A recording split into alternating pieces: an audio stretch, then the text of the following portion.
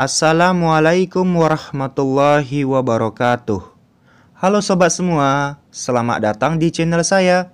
Kali ini kita akan lihat tanaman kopi yang ditanam di dataran rendah. Kopi apakah itu? Sobat pasti sudah tahu jenis kopi apa yang akan dilihat berdasarkan judul video ini. Langsung saja kita saksikan ya sobat. Let's go!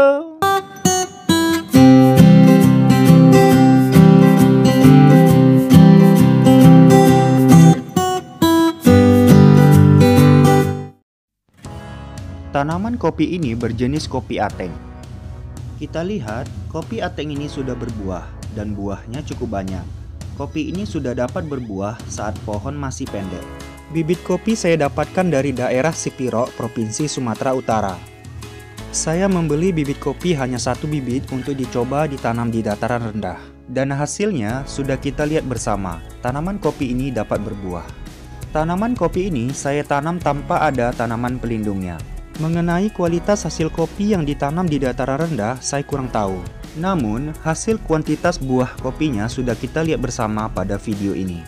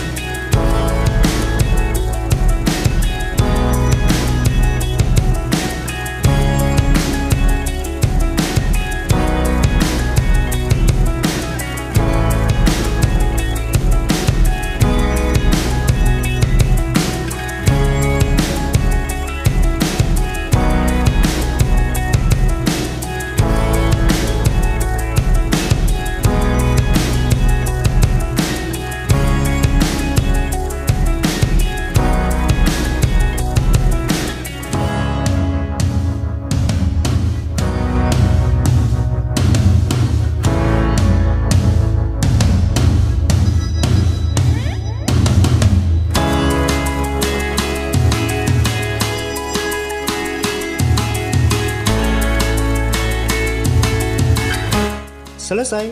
Semoga video ini memberikan informasi dan pengetahuan bagi sobat semua. Terima kasih telah menonton dari awal hingga akhir video ini. Jangan lupa untuk subscribe, like, dan komen ya sobat. Karena tanpa ada dukungan dari sobat, channel ini tidak akan berkembang. Dengan adanya dukungan dari sobat semua, saya jadi semakin semangat dan rajin untuk mengupload video. Sekali lagi, terima kasih ya sobat. Wassalamualaikum.